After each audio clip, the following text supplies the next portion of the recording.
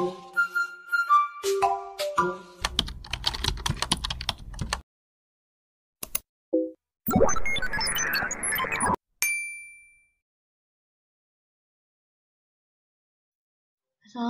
warahmatullahi wabarakatuh.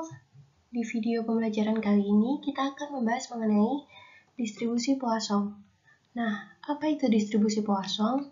Distribusi Poisson adalah kasus khusus dari distribusi binomial, di mana distribusi binomial akan menjadi distribusi Poisson ketika n-nya mendekati tak hingga dan p mendekati 0.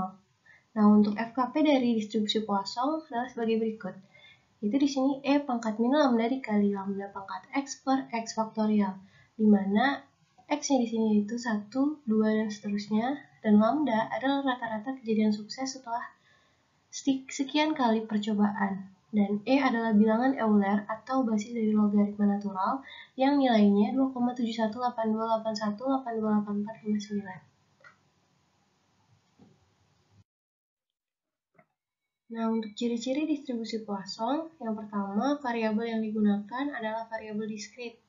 Yang kedua, percobaannya bersifat random atau acak. Nah, yang ketiga, percobaannya bersifat independen. Dan yang keempat, biasanya digunakan pada percobaan binomial, di mana n-nya lebih dari 50 dan peluangnya kurang dari 0,1. Nah, untuk rata-rata atau nilai ekspektasinya itu lambda.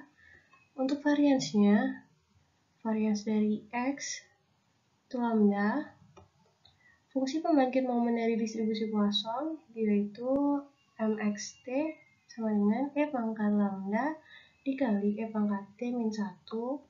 Nah, untuk fungsi karakteristiknya, CXT sama dengan E pangkat lambda dikali E pangkat IT min 1.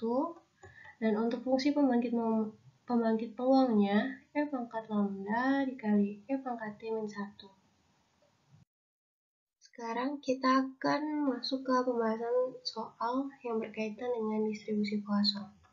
Nah, untuk contoh soalnya, sebuah toko elektronik mencatat bahwa rata-rata penjualan lampu LED sebanyak 4 buah setiap hari. Berapakah peluang pada esok hari akan terjual lampu LED sebanyak A 5 lampu dan yang B 3 lampu? Nah, untuk penyelesaiannya, yang pertama kali kita lakukan yaitu mendefinisikan peubah acak X. X di sini adalah peubah acak yang menyatakan banyaknya lampu LED yang terjual. Nah, diketahui dari soal ini, itu rata-rata kejadian sukses atau rata-rata penjualan lampu LED itu 4.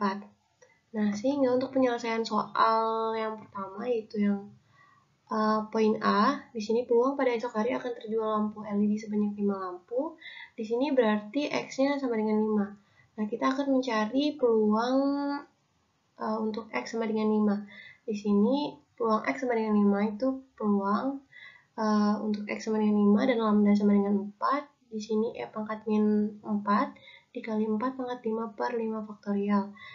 Hasilnya 18,7 552 per 120 sehingga didapatkan peluangnya yaitu 0,1563 jadi peluang pada esok hari akan terjual lampu LED sebanyak 5 lampu adalah 0,1563 nah untuk penyelesaian nah untuk pembahasan soal yang poin B di sini peluang pada esok hari akan terjual lampu LED sebanyak 3 lampu berarti X-nya itu sama dengan 3. Jadi kita akan mencari peluang untuk X sama dengan 3. Ini peluang X sama dengan 3 dan lambdanya sama dengan 4 sama dengan E pangkat min 4 dikali 4 dipangkatkan 3 per 3 faktorial.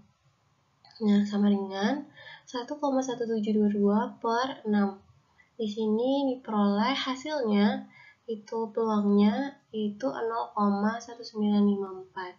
Jadi dari sini diperoleh nilai peluang pada esok hari akan terjual lampu LED sebanyak 3 lampu adalah 0,1954. Nah mungkin cukup sekian untuk video pembelajaran kali ini.